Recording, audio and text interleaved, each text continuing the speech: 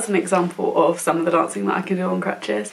Um, I was really proud of how that video came out. It was the first time I'd ever put together a proper dance on crutches um, with a choreography uh, coming from my fabulous friend Natasha Mason.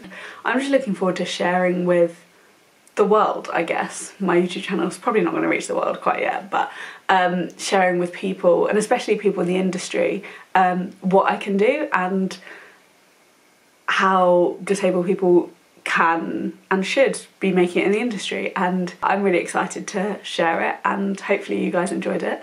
And yeah, I really hope that I can get some advice from some people out there who know what they're doing um, because I, I want to do everything that I can. And if you're someone out there that's got ideas of, you know, how I can help uh, make it in the industry or who I should talk to or, you know, ideas you have about making theatre more accessible or what some limitations of the accessibility in theatre is at the moment, then please get in touch. My social media is in the description and my email's down there as well.